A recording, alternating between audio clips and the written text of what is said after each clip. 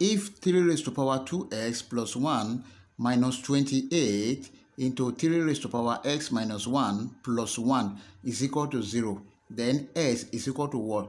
Hi everyone, welcome to my class. In this class, we want to find the value of x from this given exponential equation. If 3 raised to power 2x plus 1 minus 28 into 3 raised to power x minus 1 plus 1 is equal to 0 then what is the value of x? But before we proceed please don't forget to like share comment and subscribe. Subscription is free. Please subscribe. Thank you.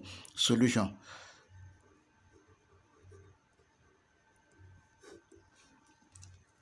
We have 3 raised to power 2x plus 1 minus 28 into 3 raised to the power s minus 1 plus 1 equal to 0. Then this implies that we have 3 raised to power 2x multiplied by 3 raised to power 1 minus 28 into 3 raised to power s multiplied by 3 raised to power minus 1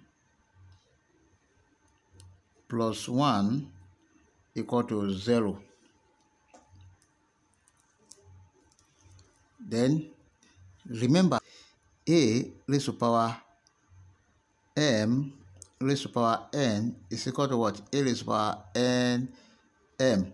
Then this implies that we have 3 raised to power s square multiplied by 3 raised to power 1 is the same thing as 3 minus 28 into we have 3 raised to power x multiplied by 3 raised to power minus 1 is the same thing as 1 over 3 then plus 1 equal to 0 then this implies that we have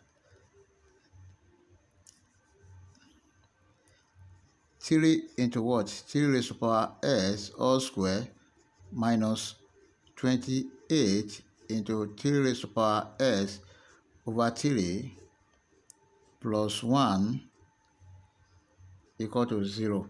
Now what do we do next? We multiply all through by 3. Let's multiply all through by 3. Then multiply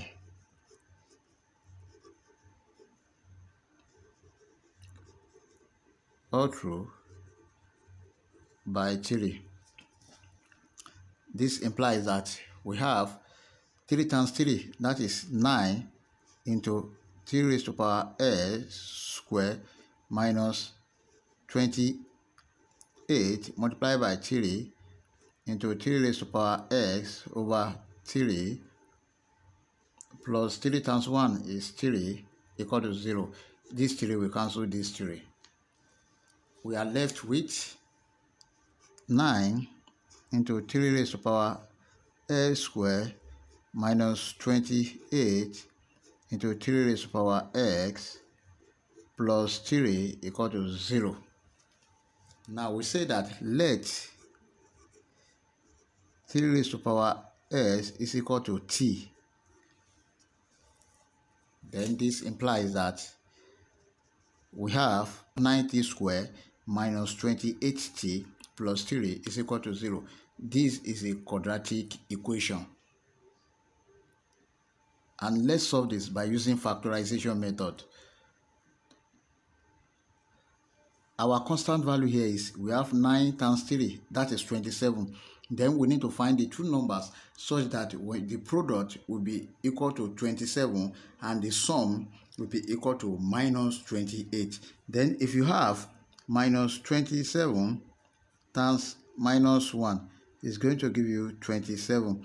Then if you have minus 27 minus 1 is going to give you minus 28. So meaning that this satisfies. This implies that we have 9t square minus 27t minus t plus 3 equal to 0. Now let's factor this out. We have 90 into t minus 3 minus 1 into t minus 3 equal to 0. So let's see. 90 times t is going to give you this 90 square. Then 90 times minus 3, you are going to get minus 27t. Then this is minus 1 times t is going to give you this minus 1. Minus 1 times minus 3 is going to give you this plus 3. This implies that we have 90 and then minus 1 and we have t minus 3 here, t minus 3 here. We have 90 minus 1 equal to 0 or t minus 3 equal to 0.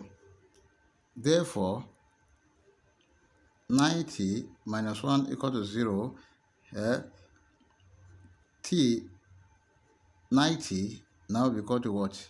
1. Therefore, our t is equal to what? 1 over 9. Or we have t minus 3 equal to 0. Our t is equal to what? 3. But t equal to 3 raised to power x. This implies that we have 3 raised to power x equal to what? 1 over 9 or 3 raised to power x is equal to 3. Now from here, we have 3 raised to power x equal to what? 1 over 9. And 1 over 9 is same thing as, but 1 over 9 is equal to what? 1 over 3 raised to power 2 then this implies that we have 3 raised to power s is equal to 1 over 3 raised to power 2. Then this implies that we have 3 raised to power s is equal to 3 raised to power minus 2. Then the base are equal.